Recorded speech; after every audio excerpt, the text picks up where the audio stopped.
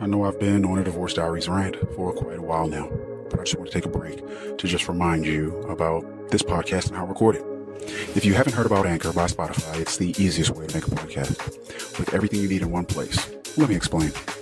Anchor has tools that allow you to record and edit your podcast right from your phone or computer. When hosting on Anchor, you can distribute your podcast everywhere. Seriously. On Spotify, Apple Podcasts, and more. It's everything you need to make a podcast in one place. And best of all, Anchor is totally free. Download the Anchor app or go to anchor.fm to get started. Again, that's anchor.fm to get started or download the Anchor app. This guy is nuts. Is he really making daily recordings of his possible divorce and releasing it as a podcast? They both cheated on each other? She's making six figures and still doesn't contribute to any joint endeavors financially? Why is she still with him? Why is he still with her? I can't wait for the next episode. This helps me be a better wife. So this is how men think. I hate my husband less now. What? I understand my wife more now. These are some of the listener comments to the Divorce Diaries podcast. All over the map, I know. These anonymous accounts of events should resonate with anyone that has been married, is married, or is preparing for marriage and helps couples avoid pitfalls as they might prepare for marriage. Entire seasons are released on Patreon weeks before anywhere else. At Divorce Diaries Podcast Patreon page. Link in description. Now for today's episode. Simply put, I'm just too damn intense. What is that? Like, intensity. And the fact that I'm so intense. Like, what, what does that mean? Like, let me tell you a story. Um, I don't, well, I'll tell you two. Both of these will involve, I'm not to say they're going to involve road rage because nothing really happened on the road. Maybe I'll do three because one has been me multiple times in the car with people and without. One involved just myself, and one involved me and my son. You know what? And I'll tell you one that involved me and my youngest daughter. Um, and I'll tell you one that involved me and my daughter. So, the first story is where I am so calm and nothing typically happens to me, um, and I don't typically react. I don't flip people off, I don't give them the bird, um, I don't curse in my car and bang on my steering wheel and yank on it. I don't do any of those things. Someone cuts me off, I'm like, that just happened.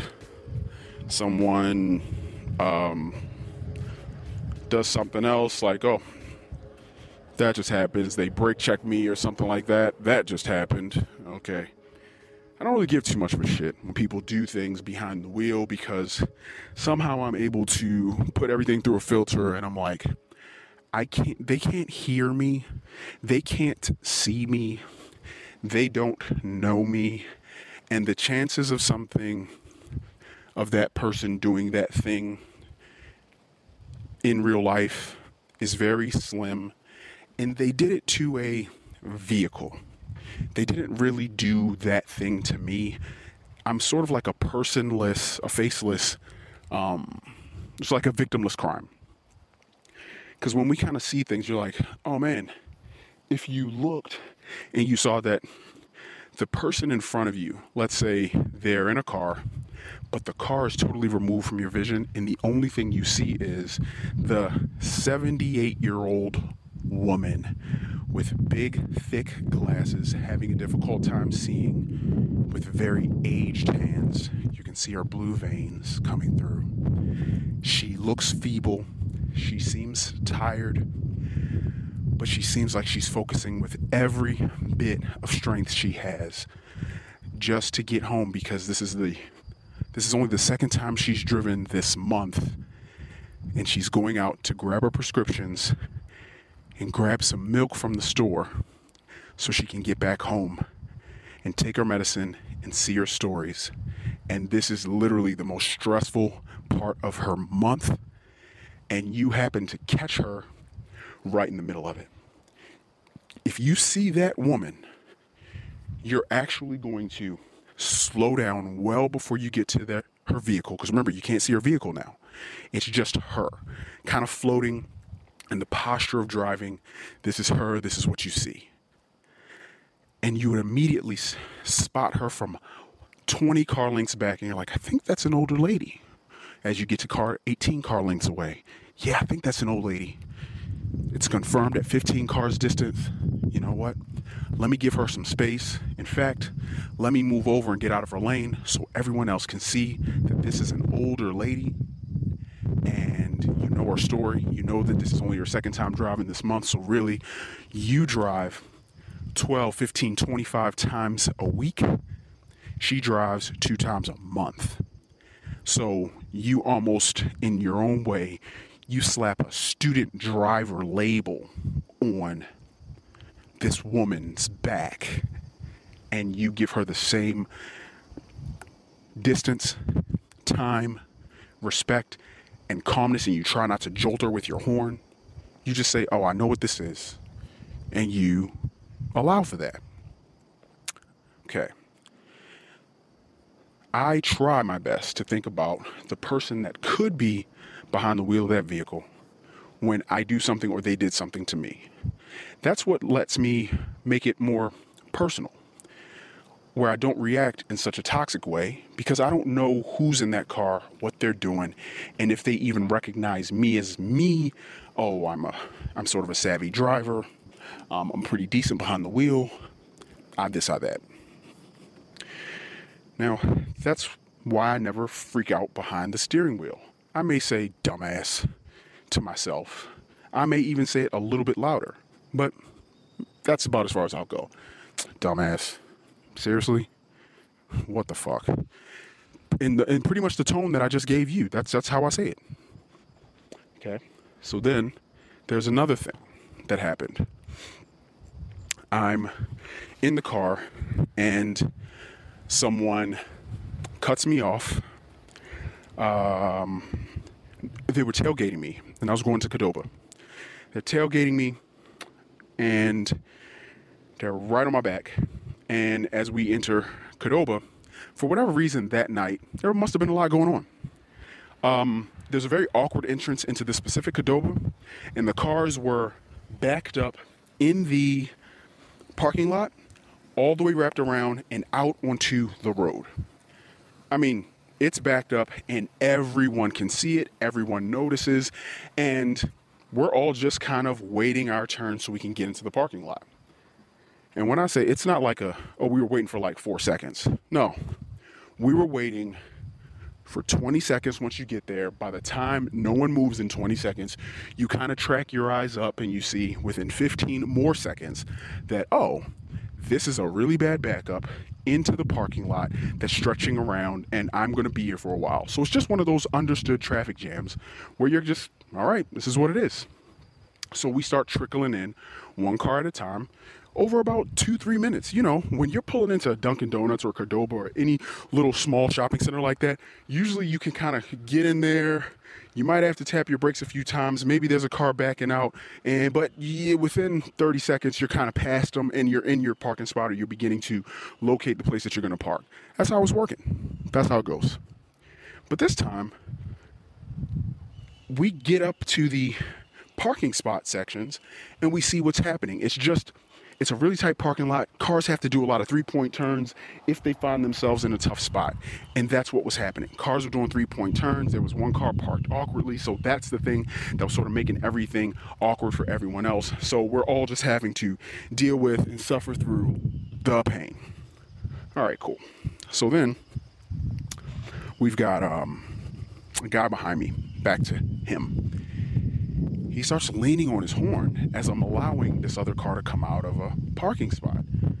And I'm like, okay, well, but then he leans on it some more and he leans on it some more. And this guy's honking and holding it for about what seemed 30 seconds to a minute, which is a long time in honking dog years.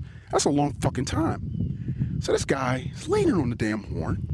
And I, I said, well, fuck, well, maybe something's happening behind me that I don't know. I immediately do the thing that I do. I kind of internalize it to myself and I kind of decide, well, maybe there's something I'm not getting or there's something I'm not seeing. What is it? You know what? It doesn't matter.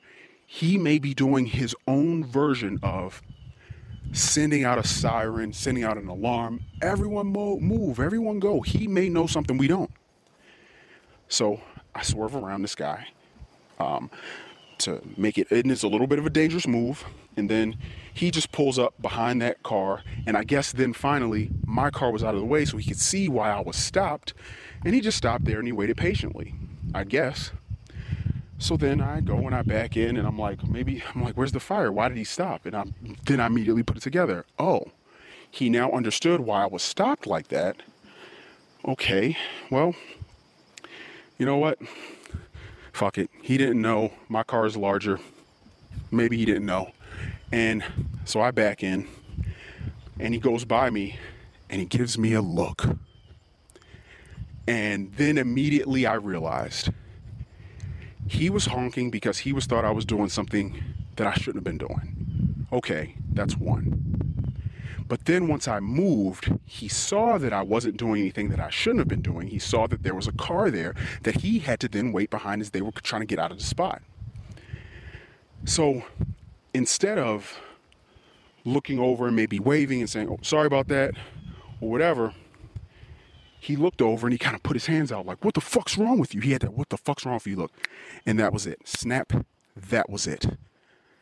What I'm learning is we have two parts of our brains. We have the emotional part of our brain, and we have the, um, oh my gosh, what is it? The conscious center of our brain? Something like that. There are two parts. And if you put your fist, uh, Dan Siegel, I think he's a scientist that came up with this, and um, or came up with a way to articulate this. If you take your fist, you ball it up, but you don't have your thumb untucked like you're going to make a fist, like you're going to punch something. You tuck your thumb in first, fold your fingertips down over top of it to make what you would have is a tucked in thumb sort of fist. And that thumb underneath, I believe that's your emotional center, or maybe that's your connection center, I forget. And your fingers are your um, connection center or emotional center, whichever one, one or the other. And if you raise your four fingers up on top while leaving your thumb tucked inside at your palm, with your fingers coming up, it resembles something like a lid that is flipped. And that is where the saying goes when your connection center and your emotional center separate, lift those fingers up and bring them down, lift them up, bring them down. That is called flipping your lid. And that's what happened in that second. I flipped my fucking lid. And this guy, what made me flip my lid was realizing that this guy was just a pure asshole and was not paying attention to what was happening.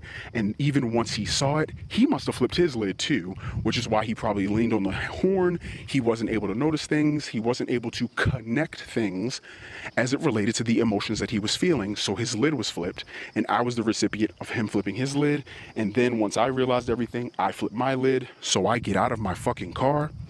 I go over to, and he's in the car with his wife. Wasn't a good move on his part. I was alone and by myself. And I was ready for whatever came next. I walk over to this guy's thing. He has his window down. Hey, buddy. And he starts to open his car door. And I said, Get the fuck out of your car. I wish you fucking would. You don't know who you're fucking talking to. You don't know who you're dealing with. And I'm doing all this posturing and puffing and big shit's coming out of me and all kinds of words of all sorts of colors. I'm in this guy's fucking ass. His wife's over there. She slides down as low as she can fucking get in the seat. Oh my God. She wants to get out of there. She's probably a little bit scared because now what happened was mortality and realizations were being were coming very close to each other in proximity with these two males. Her husband lost his shit, and he usually probably talks big and bad in the car, but now he's confronted with an actual human that he may have to fight. And that's when life and reality hit you. Me too. Because now I'm out of my car. And now I'm walking over and I can't stop myself either. I'm just fucking walking over and I'm like, okay, motherfucker, this is it. This is it's on. And he somehow was snapped back into reality. Maybe it was, maybe his lid came back down.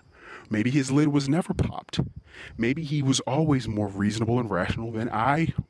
Maybe he was always as reasonable and rational, but he just thought that he was in an alternate reality and he could do and say whatever he wanted. And then the reality of me in front of him changed things. Sorry, man. Sorry, sorry. Okay, okay. He puts his hands up and starts to kind of back away and gets into a scarf. I'm sorry about that. And I was just like, and you better not be going into fucking Qdoba to get no fucking tacos because I'm going in there. And if you walk in, I'm just going. And I was serious because I have this thing, I think, where people aren't being righteous. I want to right that wrong. I feel like the world is already bad enough. So when we, as people, do things like hurt others when they don't need to be hurt, when we exacerbate situations, when we show huge amounts of frustration, um, and we drag other people through the mud, I believe that's the worst thing we can fucking do. Um, the second situation Sorry, we're recording this part. Uh, the second situation. The first situation was just me, you know, saying seriously in my car. Second situation was jumping out of the car, confronting a man, and he retreated. Then I got my fucking hero complex on because I'm so righteous. I'm a soldier, and I changed the world by telling a bully to shut down. So, in the third situation, with my son in the car, and I was the fucking model shitty parent. Person, not even parent, just model shitty person and parent. I say to my son, or no, I'm sorry, same part of town. So I've got all these connection points of familiarity. This guy, piece of shit, is doing something erratic on the road and he did some swerving, he did some cutting off, some brake checking, just some really horrible things. And we're headed in the same direction. And I'm like, if this guy goes to this same place, then I'm going to fucking follow him. I'm going to do this and I'm going to do that. I'm doing a lot of posturing and a lot of puffing. Maybe there was some ego stuff with my son being there as well. And I'm like, oh shit, you know, I said that I'm going to do this, so I better follow through. Um, but I know that I wasn't actively thinking about that. I was just, my lid was popped. It was, my lid was flipped. And so I, he pulls into the same fucking shopping center and he heads inside, same shopping center and he goes into the market that we're going to go into and i say oh fucking oh fucking a. I'm almost i almost feel like in some weird sick way god is divinely giving me permission to kick off in this motherfucker's ass. And he's got some red jacket on and he goes into the store and i go in behind him uh, find him in whatever aisle he's in, picking up his fucking grapeseed oil or some bullshit. I don't fucking know. And it doesn't fucking matter to me because I am righteous. I was right. I shouldn't have been cut off. I this, I that. Me, me, fucking me. So I go and I try to locate this guy, and I do. And I, sh- I will say that I behaved as badly as anyone can or should because modeling a lack of self control is not a good look for anyone, especially a father in front of his son. And what my son did was something that I am extremely proud of. I'm proud to know that my son is the wingman that you want to go out with. He is the ride or die. He is the soldier. He is the one that, if he's with you, there will be punches thrown and questions asked later. That is the person you want to go out with. You don't want to go out with the person that starts the shit, but you want to go out with the person that if shit does go down, you know exactly where they stand and you don't even have a doubt of if you'll be left out in the cold by yourself, getting jumped, whatever. So, find this guy in the fucking aisle and I'm like, motherfucker, You did all that shit on the road. Let's see what you'll do now. And he's, hey, oh man, it's not. I did um, stutter, stutter. Didn't mean to. I really shouldn't have. Oh man. And I'm like, shut the fuck up. I'm like, you were so fucking bold before. Where's the? And out of the corner of my eye, my son, he does this thing. He just kind of moves around to the back of the guy, and he just quietly stands there, and he's just waiting just in case something happened, he just put himself in the best position for the worst possible outcome where he could be the most effective in solving this problem for the both of us. Great son, great kid. OMG, love him to death for that. But he got to see this is how you handle someone cutting you off on the road, maybe. It's okay to go inside of a store and stalk them. It's okay to accost them verbally and be ready for a physical throwdown and try to uh, really entice it. What if this guy had a gun? What if this guy pulled out a knife? So am I now in a knife fight?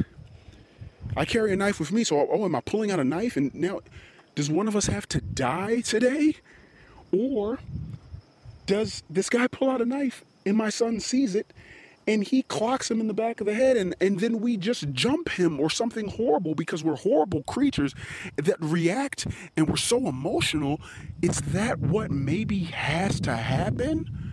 Is that the horribleness that that i am? Is that what i would have done? I don't know. But all i know is i flipped my fucking lid and control was lost.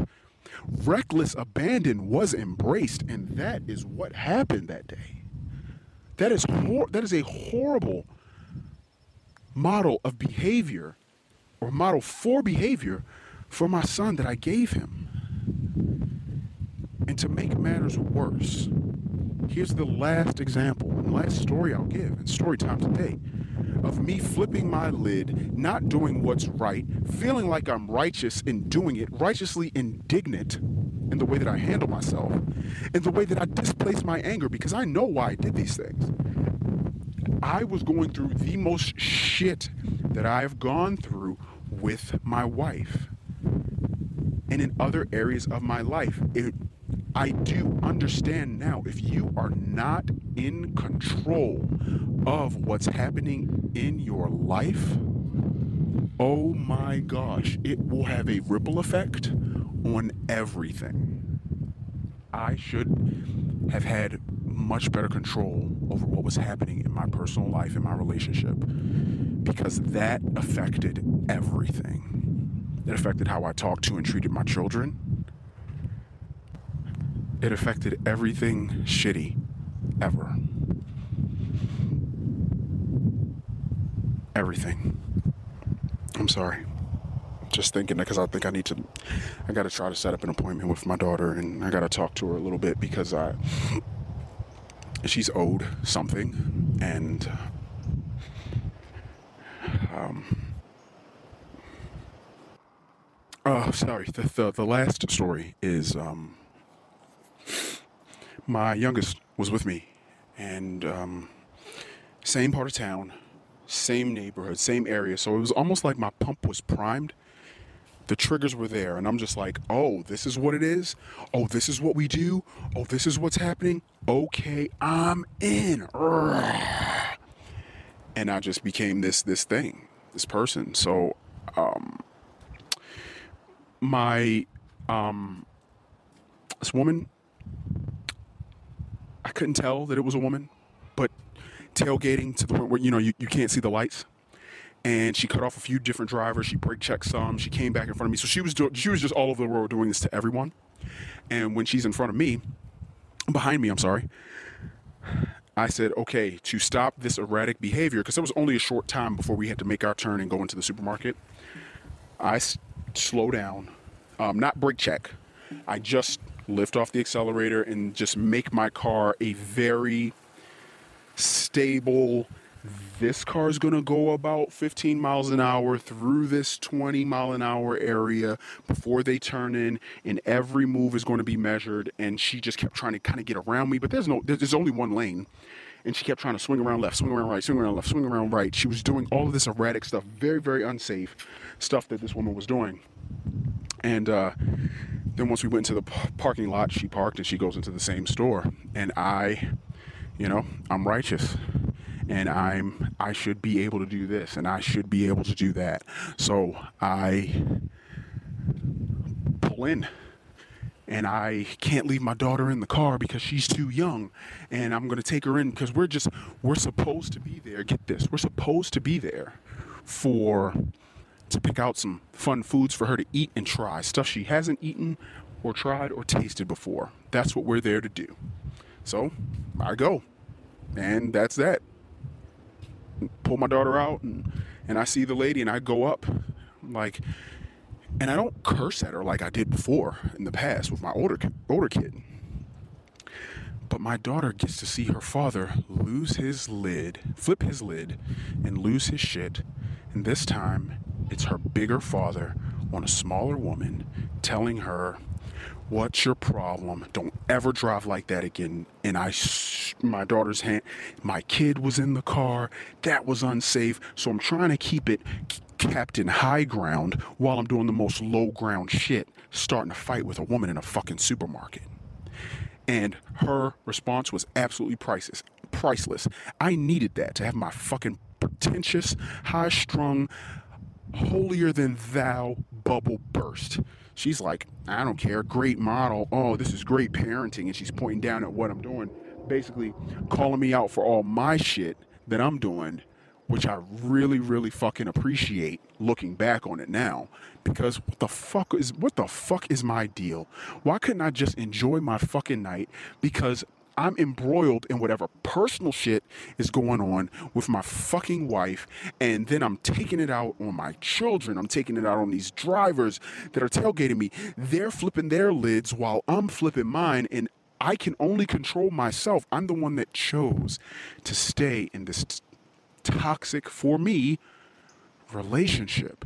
That's no one else's fault. I did not have to take all of my shit out on other people. Why did I do that? Why did I drag them through the mud that I was in? I made the strategic choice to stay in the fucking mud. That was my stupidity. I did not have to make that choice, but I did. Why should they have to suffer for the bad choice that I made being with my wife? I don't. It,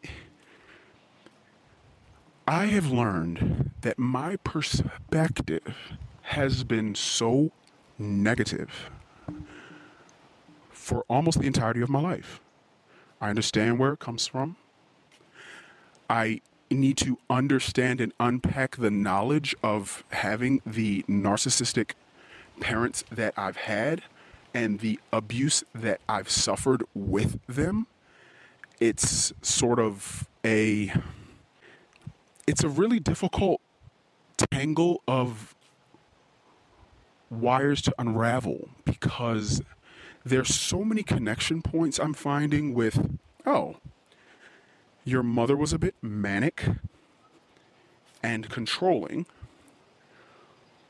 but it was packaged as if she was a sweet, caring, giving person.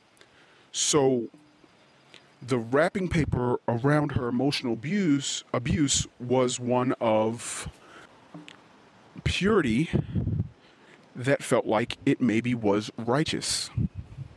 So because you viewed or felt genuine love from your mother while you were being abused, you likely will perpetuate that same quote unquote love that you feel you got from your mother. You will likely perpetuate the same controlling aspects of life you would likely do it because you're like, but that's a good thing because it's good to try to control situations. Any means necessary. Manipulation, that's a tactic that I've learned I've used. I'm like, I wasn't manipulating you. I just I just strategically set these things up so that this outcome would strategically would happen based on the strategies I chose.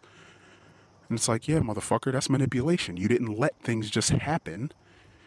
you set things up or put things in motion to to create an outcome.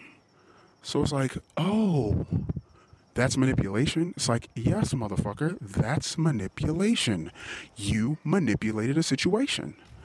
Oh shit. I thought I wasn't I didn't think I manipulated a situation. I thought I was being righteous. It's like, no, you're not being righteous. It's literally the last thing you're doing. If you were righteous, what I know now, if I was if I was truly righteous, when I got cheated on, when I didn't do anything.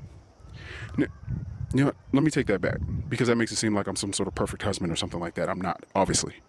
I'm recording diver- divorce diaries and I'm talking about all the bullshit that I've ever done.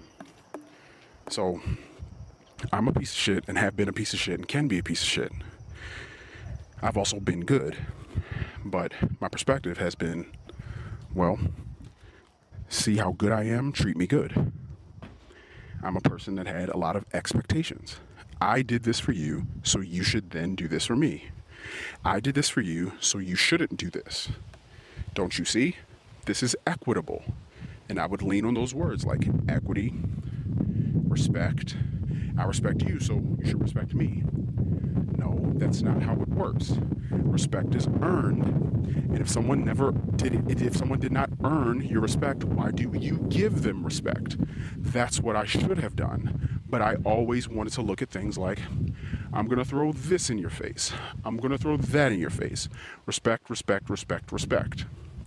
So it's just, it's very weird now understanding the way that I moved in the past the way that I thought, the way that I figured things, and I really, and the, in the ways in which I really tried to act like I was righteous when I wasn't. I didn't accept the fact that I could be righteous in some ways, but where I had no influence like, just going to the market with my fucking daughter. Just go. You don't have to go out of your way to make sure the asshole knows they're an asshole. Why are you there? I'm there to have a good time with my daughter and have the most enjoyable day. What's this going to require now that this person cut you off and they tailgated you and they almost ran you and your daughter off the road? What do you do now? Okay. I don't think I do anything. I think I let it roll off my back, make sure my daughter's safe, maybe even take some time in the car to let this person leave the market, or if I go inside and see them, because they probably didn't even see me in the car. She's just freaking out. She doesn't even know what the lady was freaking out about. And then I just safely take my daughter in and we just have a good time, possibly right next to that person. And who knows what might have manifested. I might have heard that person on the phone and they're talking about their mother that just died from terminal cancer. And I get to see them actually going through something and feeling something. And that maybe that explains why that person just did what they did to me on the road. And why do I have such a self importance complex where I think that someone wanted to go, why am I so important where someone would go so far out of their way to make sure that I know that they want me to have a bad day. That's what that woman did. She got up that morning and she's just like, you know, at 7:05 tonight, I'm to fucking I'm to fuck somebody's day up. And it's to be a guy and his daughter in their car going to go look for burritos at the fucking supermarket. That's what I'm to do. That was her intention when she got up in the morning to fuck me over. How cocky, arrogant, self aggrandizing a person do you really have to be like I am to really think that I am that fucking important? It's tough, but I gotta tell myself, bro, you are not that fucking important. I'm not that, I'm not important enough to get the respect I thought I deserved for my wife. I'm not that important where my parents thought that they maybe shouldn't use me as their own whipping post like I'm using my kids. I'm not that important. And once I do the the work of bursting my own fucking bubble of self-importance, the better off I'll fucking be. Because Lord knows, I just Jesus. Put more good into the world than you take out. And that is going to require something called patience, grace. It's going to take a lot sometimes to fucking eat crow. Yeah, it would have hurt for me to walk away from my fucking mom earlier. It would have hurt to walk away from her. But I ended up walking away from my mom in the end to disconnect and stop talking to my father because of his toxicity and the hurt and pain that he was inflicting on my life, willingly inflicting inflicting on me. It was rough. But I really, really, really needed to do it. And had I done it sooner, I probably could have saved myself a lot of heartache and headache. Walking away from my mo- my wife when she disrespect after disrespect after disrespect. That would have been the absolute best thing for me to do, but I didn't. I didn't do it. I just fucking didn't.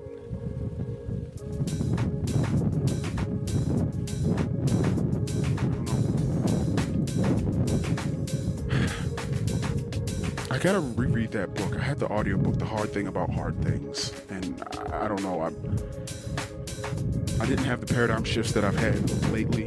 I haven't been in therapy. I wasn't in therapy at that time. I think I need to go back with renewed and new perspectives and see, like, all right, what the fuck? What am I thinking here? How do I feel? How are things going? I'll do that. But yeah, I fucking flipped my lid, and that's what flipping your lid is. Your connection center, your emotional centers of your brain separating from themselves. Therefore, you have a lid that flips. It flips. Your lid flips. I'm um, I'm a work in progress, as we all are, and I don't know. This one wasn't really so much about divorce, but this was about me, and it was about how I respond to stress. And I know that as a father, as a husband, um, for as long as I will be, um, husband, I am not.